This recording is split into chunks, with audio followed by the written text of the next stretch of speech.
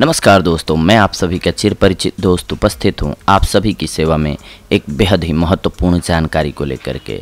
जी हाँ, पपीते के पत्ते का जूस पीकर कई बीमारियों को आप दूर भगा सकते हैं। आज का हमारा यही टॉपिक है। आपने हमारे चैनल पर ही बहुत बार सुना होगा कि पपीता खाने के क्या क्या फ़ायदे होते हैं, लेकिन आज हम आपको पपीता के पत्ते खाने के या फिर उसका जूस पीने के फ़ायदे बताने वाले हैं। क्या आप जानते हैं कि पपीते के पत्ते कई औषधीय गुणों से भरे हुए होते हैं? आपके शरीर के जितने भी रोग हैं, वह पपीते के पत्तों के रस के इस्तेमाल से दूर हो सकते हैं। पपीते के पत्ते खाने में कड़वे लगते हैं, लेकिन उनमें कमाल के गुण छुपे हुए होते हैं। पपीते के पत्तों में vitamin A B C D और ई इसके साथ साथ कैल्शियम की मात्रा भी होती है इसमें। इन दिनों वो लोग जो अपनी सेहत के प्रति जागृत हैं, वे पपीते के पत्तों का इस्तेमाल करने लगे हैं। इसके प्रयोग से घातक रोग जैसे कैंसर, दिल की बीमारी, dengue, blood, dengue blood sugar तथा आंतों में बसे परजीवियों को नष्ट करने में सफलता मिलती है। यह शरीर की रोग प्रतिरोधक क्षमता को भी बढ़ाता है।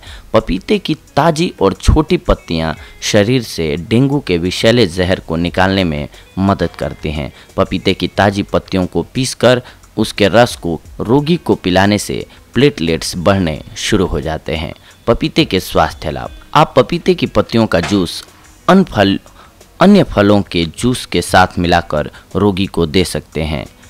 आइए जानते हैं पपीते के पत्ते के किन किन रोगों को दूर करने के लिए आप इस्तेमाल कर सकते हैं और उसकी सेवन विधि क्या होगी। इसमें कैंसर रोधी गुण होते हैं, जो कि इम्यूनिटी को बढ़ाने में मदद करते हैं और सर्वाइकल कैंसर ब्रेस्ट कैंसर अग्नाशय, जिगर और फेफड़ों के कैंसर को होने से रोकते हैं। इसके अलावा बैक्टीरिया की ग्रोथ को रोकते हैं ये।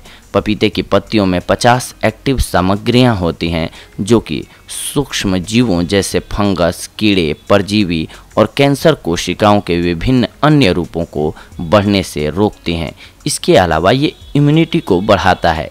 इन पत्तियों में सर्दी और जुकाम जैसे रोगों से लड़ने की शक्ति होती है। यह खून में वाइट ब्लड सेल्स और प्लेटलेट्स को बढ़ा देती है। एंटी मलेरिया गुण मौजूद होते हैं पपीते के पत्तों में। यह मलेरिया से लड़ने में प्रभावकारी है। पपीते की पत्तियों का रस मलेरिया के लक्षणों को बढ़ने से रोकता है।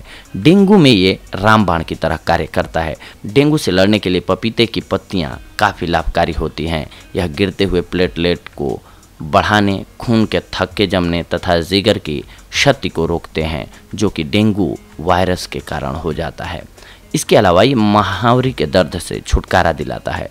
दर्द को दूर करने के लिए एक काढ़ा बनाइए, जिसमें एक पपीते की पत्ती को इमली, नमक, एक गिलास पानी के साथ मिक्स कीजिए, फिर इसे उबालिए और जब काढ़ा बनकर ठंडा हो जाए, तब इसे पी लीजिए। इससे आपको आराम मिलेगा। ब्लड प्लेटलेट्स बढ़ जाती है इससे। यह जड़ी बूटी खून में ब्लड प्लेटलेट्स बढ़ा देती है। इसलिए पपीते के पत्ते के दो चम्मच रस को रोज़ाना कुछ दिनों तक पीना चाहिए। मुहासों को दूर करने में भी बेहद कारगर साबित होती है। अगर चेहरे पर मुहासे हैं तो सूखे पपीते की पत्तियाँ लेकर उसे थोड़े से पानी के साथ मिक्स करके पेस्ट बना लें, फिर इस पेस्ट को चेहरे पर लगाकर सुखा लें, फिर इसे पानी से धो लें। इस तरह से आपके चेहरे से पिंपल्स हट जाएँगे। इसके अलावा अगर आप पपीते के पत्ते की चाय पियेंगे तो आपके पेट से खोई हुई भूख भी दोबारा वापस आ जाएगी। यानी कि आपका पाचन तंत्र तंदुरुस्त हो जाएगा और आपको भूख लगने लगेगी। तो दोस्तों, ये थी आज की हमारी जानकारी। आप सभी के लिए अगले एपिसोड में हम आप सभी से जुड़ेंगे। एक और बेहद ही महत्वपूर्ण जानकारी को लेकर के तब तक के लिए धन्यवाद। नमस्कार दोस्तों।